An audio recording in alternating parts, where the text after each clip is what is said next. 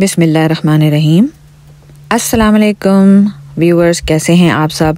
दुआ है कि आप सब खैरियत और आफियत से हैं। Welcome to cooking with Fariyal. आज मैं आपके लिए लेकर आई हूँ मज़ेदार, चटखारेदार चना चाट। घर बैठे बाज़ार जैसी चना चाट के मज़े लें। स्टार्ट करते हैं बिस्मिल्लाह रहीम मैंने यहाँ यूज़ किया है वन कप चना और उसमें मैंने डाला है one four T baking soda और चार ग्लास पानी।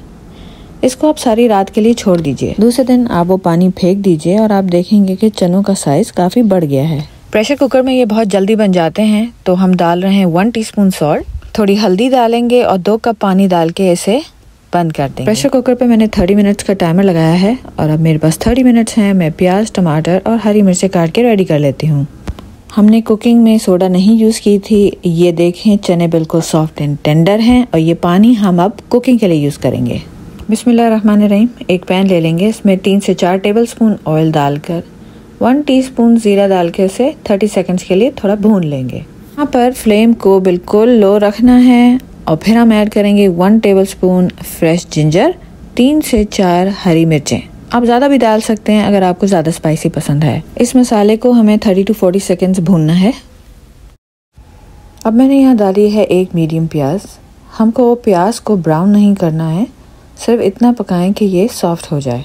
ज़ीरा, अदरक और प्याज के बाद हम ये मसाले डालेंगे। आप इस तरीके से मसाले डाल के चना चाट बनाएँ, आपकी चाट बहुत अच्छी बनेगी। प्लीज़ रेसिपी को आखिर तक फॉलो कीजिएगा ताकि आपको इम्पोर्टेंट स्टेप मिस ना कर दें। रेसिपी पसंद आए तो कमेंट ज़रूर कीजिएगा।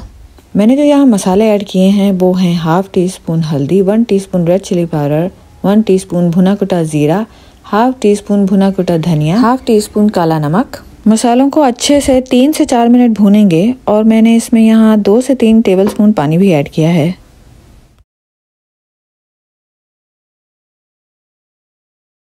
एक टमाटर चॉप किया हुआ ऐड करेंगे। इसे भी मसालों के साथ अच्छे से भून लेंगे।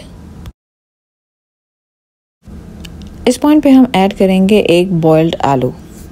आलूओं को मसाले के साथ अच्छे से मिक्स करेंगे ताकि हमारे आलू में भी अच्छा सा फ्लेवर आ जाए।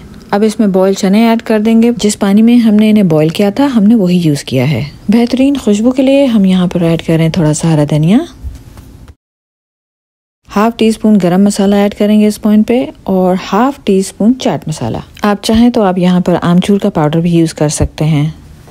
अब इन्हें कवर करके आठ से दस मिनट पकाएँगे। ये देखें, माशाल्लाह, ये चने बिल्कुल रेडी हैं और बहुत ही अच्छी खुशबू आ रही है। ग्रेवी थोड़ी थिक करने के लिए एक ट्रिक करेंगे। मैशर की मदद से मैं यहाँ पर आलू और चनों को थोड़ा सा मैश कर रही हूँ ताकि हमारी जो ग्रेवी है वो थोड़ी थिक हो जाए।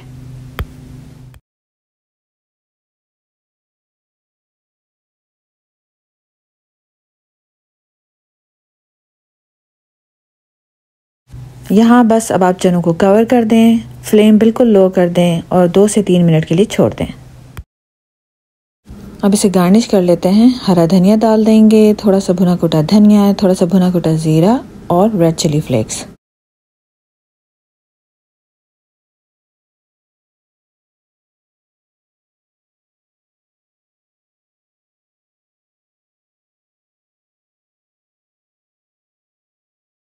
अगर आप चाहें तो इस पॉइंट पे आप थोड़ी सी इमली की चटनी भी डाल सकते हैं, हरी चटनी भी डाल सकते हैं। आपको जैसे चाहिए, गरम, ठंडा आप वैसे खा सकते हैं। चलें जी, बिस्मिल्लाह, डिश आउट कर लेते हैं और ये देखें जी, आपकी ज़बरदस्त चना चाट इज़ रेडी आप इस पर टमाटर, प्याज, हरा धनिया, चाट मसाला, इमली की चटनी डालें और इसे खूब इंजॉय करें. एंड यस लेमन जूस ना भूलना.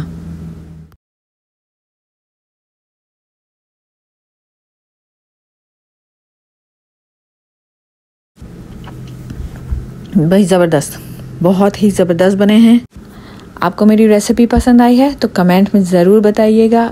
And yes don't forget to subscribe and share with your friends and family until next time Allah hafiz.